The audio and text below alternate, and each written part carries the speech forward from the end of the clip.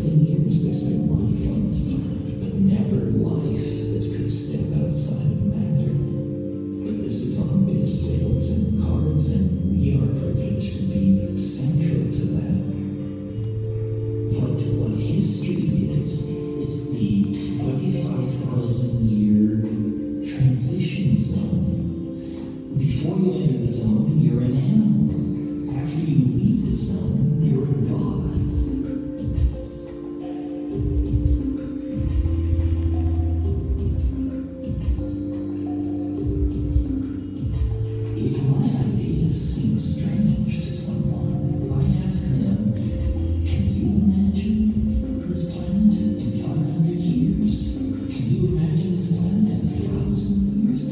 No, no one can imagine that because processes are now in place.